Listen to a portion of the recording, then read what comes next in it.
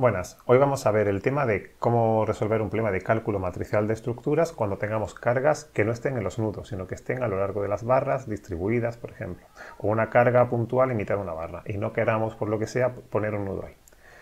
Bien, pues, eh, ¿por qué esto es un problema? Lo primero, como ya deberéis tener claro a estas alturas, en cálculo matricial, pues solamente disponemos de una serie discreta de grado de libertad, que son, que son en los que hemos decidido dividir en la estructura y son las variables que aparecen en cada fila de U y de F.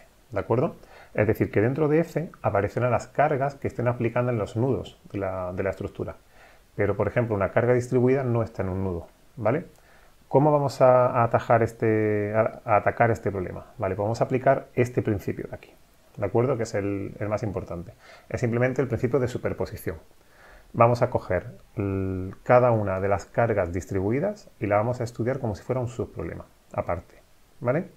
Y nos llevaremos lo que haga falta llevarse, que ahora lo veremos, al cálculo, al que se quede como cálculo matricial. Es decir, cálculo matricial va a ser solamente uno de los subproblemas a estudiar, ¿de acuerdo? Eh, calcularemos las cargas nodales equivalentes a todas las cargas externas, etcétera, resolvemos matricial y luego haremos lo siguiente cogeremos los desplazamientos, los esfuerzos y las reacciones de cálculo matricial y habrá que sumarles, ¿de acuerdo?, las de cada uno de los demás subproblemas. ¿Vale? Quedaros con eso, ¿vale? Desplazamientos, esfuerzos y reacciones, todo hay que sumarlo. Vale, vamos a, vamos a ver cómo se haría y basándonos en un ejemplo, ¿no? Tenemos un ejemplo como este, pues un pórtico con un nudo rígido otro articulado, un apoyo articulado y una carga que no es nodal, ¿vale? La carga de aquí arriba, esta carga distribuida. Bien, pues lo que haremos va a ser dividir este problema en dos. Decimos, vamos a dividirlo en un problema de cálculo matricial, vamos a llamarle n, en el que la estructura va a ser exactamente la misma, no vamos a cambiar nada, no hace falta hacer como en resistencia, que las convertíamos en isostáticas, ¿vale? Aquí nada de eso. Aquí la estructura es la misma y le vamos a sumar un subproblema, vamos a llamarle 1, por cada carga distribuida. ¿Vale? Entonces, eh, en este problema de aquí vamos a estudiar la carga distribuida. ¿Vale? Y lo que vamos a hacer realmente es, como solamente queremos estudiar en, en el subproblema de la carga distribuida lo que le ocurre a esa barra, ¿vale? Pues vamos a ignorar el resto de la estructura.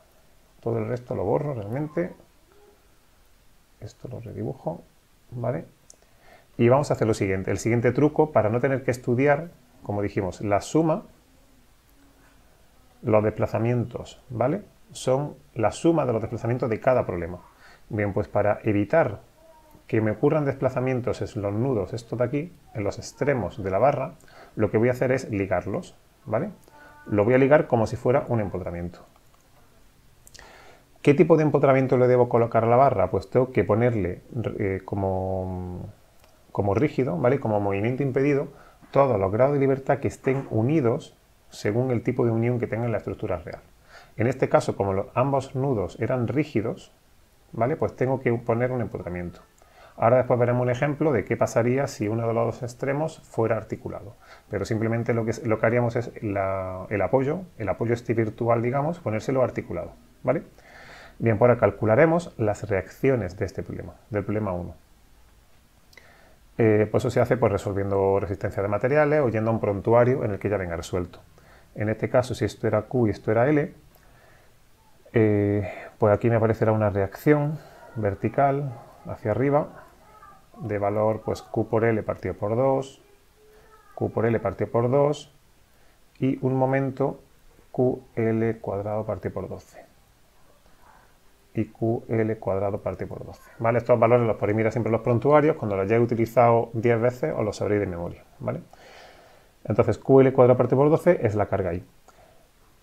Em, la idea es que la suma de estos dos subproblemas sea el problema original. ¿Vale? Entonces lo que voy a hacer es colocar, como, están, como este nudo de aquí, vamos a ponerle números, esto es el nudo 1, 2, 3 y 4. Como el nudo 2 en el subproblema 1 está sintiendo esas fuerzas, ¿vale? Y en el mundo real no está sintiendo esa fuerza, lo que hay que hacer es meter en el problema M las fuerzas de la reacción con sentido contrario, digamos para anular ese efecto, ¿de acuerdo? Vamos a ponerlo con el mismo color. Entonces, si este era en sentido antihorario, aquí tiene que ir en sentido horario. QL cuadrado partido por 12. La carga vertical hacia arriba, aquí va hacia abajo. QL partido por 2. Aquí exactamente igual. Y este momento de la derecha del nudo 3 aparecía horario, aquí tiene que ir antihorario. ¿Vale? De forma que el problema matricial ya lo he terminado, o sea, ya lo he terminado de definir, ahora puedo escribir cuál es el vector de carga. Simplemente tendría que escribir cada una de estas fuerzas en el vector que le corresponda, ¿vale? En la posición del vector F que le corresponda. Y ya resolver matricial tal cual. Eh, una vez que lo haya resuelto, pues tendría que tener en cuenta que los esfuerzos de la barra, de la barra 2.3, la barra está de aquí arriba, serían los esfuerzos de cálculo matricial más los esfuerzos de... Em, por aquí lo tengo, ¿no? Exactamente. Esta barra, ¿no? Estos son los esfuerzos de la barra 2, ¿de acuerdo?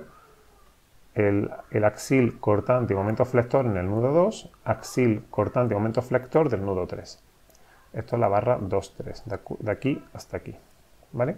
Pues esto, los valores finales de verdad reales son los que me da matricial y recordad que estos de aquí eran Em, aquí no viene escrito, pero esto sería igual a menos fx2 menos fy2 menos m2 y aquí abajo con el mismo signo.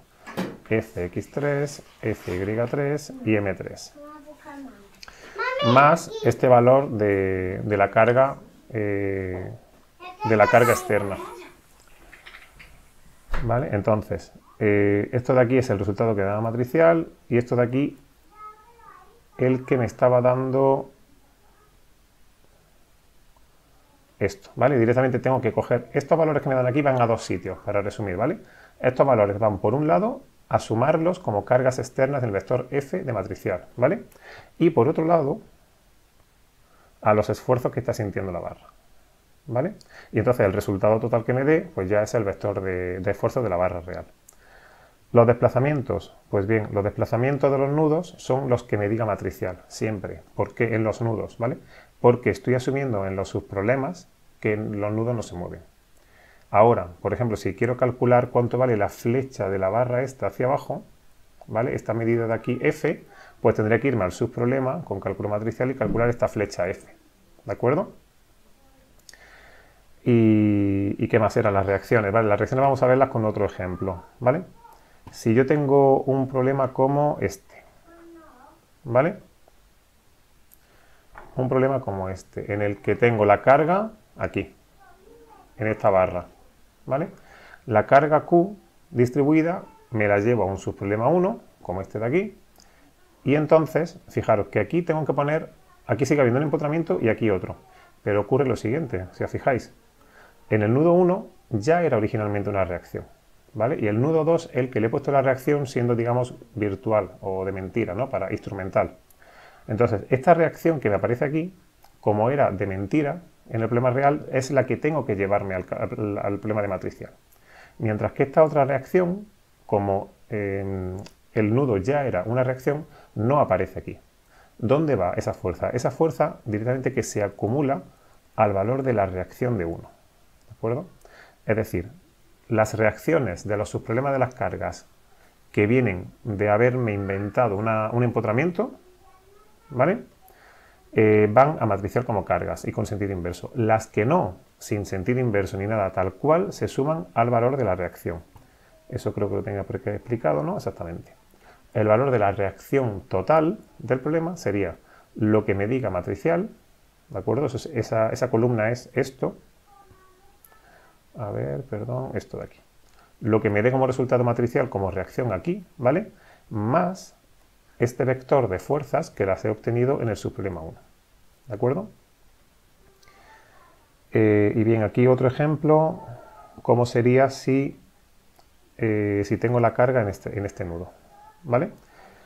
Este nudo eh, es peculiar, esta barra, porque aquí tengo un, un apoyo, ¿vale? En el que parte está libre y parte está restringido, ¿vale? Pues se puede hacer de dos formas, este problema realmente. Aquí viene una única forma de hacerlo, pero se podría hacer de dos, dependiendo del modelo de barra que hayáis cogido. El modelo de la barra 3-4 podría ser una barra de tipo, como está hecha aquí, rígida, articulada, y entonces esa barra por sí en matricial está impuesto ya que aquí está libre de girar. Digamos que esto está libre, esta es una rotura en el nudo 4, ¿vale? Si estamos en ese caso, vale, pues en la versión de la carga solamente estudiada aparte, tiene que, tenemos que poner como restringido todo lo que el modelo de la barra esté restringido. ¿Vale? En el caso del nudo 4 se queda libre. ¿Vale? ¿Por qué? Porque imaginad que lo, que lo restringís. ¿Vale? Vamos a hacer la alternativa por aquí. A ver si en un hueco. Imaginad que lo restringís. ¿Vale? Y pongo la carga. me aparecerá una reacción, ¿verdad? Aparece momento, momento, fuerza y fuerza. Pues este momento de aquí abajo, ¿a dónde va? Tendría que llevármelo sumado a matricial aquí, ¿vale? Pero si ese, ese grado de libertad he decidido no estudiarlo, no tengo dónde meterlo, ¿de acuerdo? Es decir, que, es imposible de tratar ese caso. Si decido eh, eh, es, decir, eh, es imposible si estoy utilizando, la, insisto, si estoy utilizando el modelo de, de, barra rígida articulada. ¿Vale? Si decido utilizar el modelo de barra rígida-rígida, aunque aquí tengo una, unión de tipo articulada, ¿vale? Que eso es independiente. La barra puede ser rígida-rígida y la única diferencia sería que el problema me da como resultado el valor de este giro. ¿De acuerdo?